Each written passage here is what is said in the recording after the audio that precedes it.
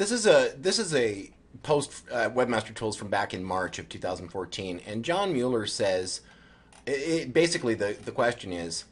Uh, somebody received one of those blackmail link removal emails where they're sort of threatening to harm your uh, we'll harm your website if you don't remove this link well that sort of uh, tactic is terrible but i've i've actually always assumed that it must be a flag of some sort. I mean, if everybody is is disavowing, if everybody is disavowing URLs from a particular site, if one domain is getting overly disavowed, that may not in and of itself be a cause for your site to be automatically removed from the search engines or anything like that. But on the other hand, if everybody wants to disavow links from your site and that can, trend continues, you can't tell me that doesn't raise a flag, and you can't tell me that's not a low quality signal that could be interpreted in such a way that says, hey, these guys suck. They're out of the search engines. So I don't believe that for a minute. And I think that the, the verbiage here was chosen very carefully. It doesn't say, and it never will. It does say, will not cause any problems. In other words, it won't directly, just that fact is not going to directly harm your website. And I don't believe that, I don't believe that there's anything misleading here, but, but I do believe that it could be